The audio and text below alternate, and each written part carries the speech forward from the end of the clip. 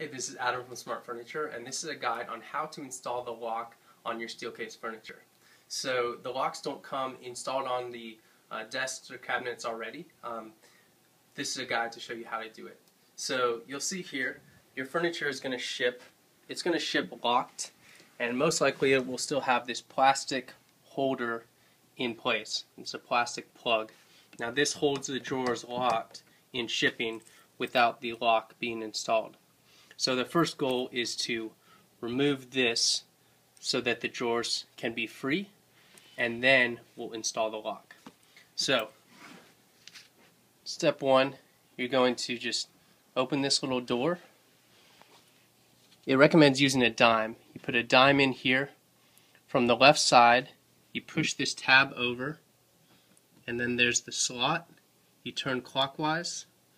Now the drawer comes free. Now I'm going to show you a couple other methods in case this came out. Say this fell out. How do you put it back in to do that? You're going to do it with the hinge on the right and go straight in. So you'll press that in like that. Now that's there. You open the door. You'll do the same thing. Turn. Uh, say you don't have this at all. You pull that completely out. You can use something like a credit card, a plastic card without that plastic cylinder in there, you'll just go in from the middle, go in pretty deep, at least half a card, then you'll push over outwards. That will flip the latch down. Now the drawer comes open. It's this latch that you just flip down like that. Okay, and that's the same thing that the cylinder is doing. It's just turning that. You can also just do this with your thumb if you like. Okay, so now that that's unlocked, this is removed.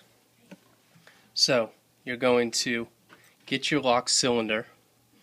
Now this has to go in at a specific way, uh, just at the right angle. A lot of people get, uh, it can be a little tricky if you don't get this in at the right angle. So there's two sides to this. There's the tab, which designates the top, and then there is just all straight in a row here. These lock parts are just all in a row here. Here they're staggered.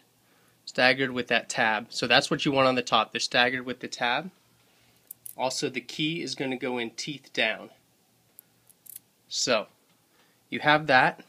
That's going to go in at a 45 degree angle. So this is straight up and down. It's going to be 45 degree angle. And then you're going to just go in there straight in. You're going to push it all the way in, turn it to the right clockwise, pull the key out and it's going to set. Now once it's set you can't get it back out easily. So we're going to show you here. Inside here sometimes you'll have to go a little bit left or right but if you kind of eyeball it make sure these grooves in here are just right. Got this here. Tab up 45 degree angle. I'm going to go in right like this.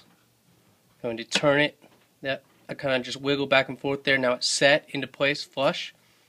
Turn it clockwise. Pull the key out.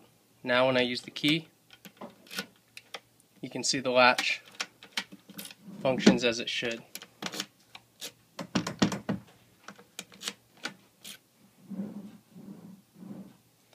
So the same method is going to be doing if you have vertical doors, it's going to be the same method with that key cylinder where you can slide the credit card up and down to undo the latch.